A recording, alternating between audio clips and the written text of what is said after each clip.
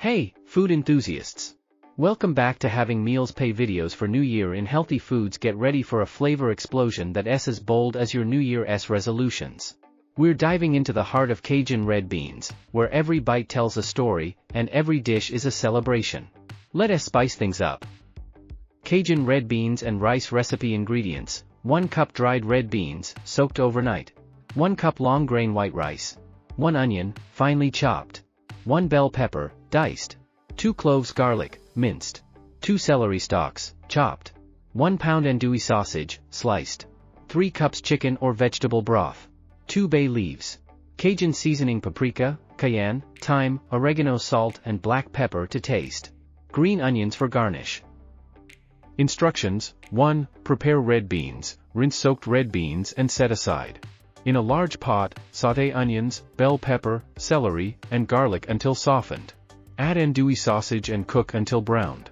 2. Seasoning magic, sprinkle Cajun seasoning over the sausage and veggies, adjusting to your preferred spice level.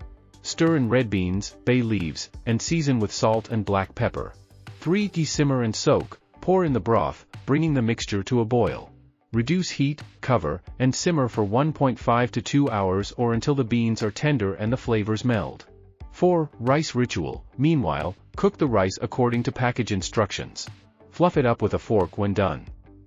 5. Marrying Flavors Once the red beans are tender, mash a small portion against the pot's side to thicken the broth. Discard bay leaves and adjust seasoning if needed.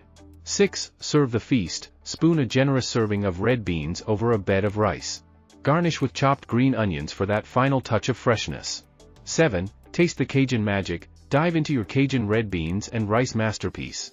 Each bite is a harmony of smoky, spicy, and savory flavors. 8. Enjoy your fiesta, wishing you a culinary celebration filled with the vibrant spirit of Cajun cuisine.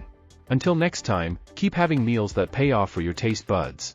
Note, adjust spice levels according to your preference, and feel free to customize with your favorite Cajun seasoning blend. If you enjoyed this Cajun red beans recipe adventure, don't forget to give it a thumbs up, subscribe for more flavorful recipes, and hit that notification bell to stay in the loop.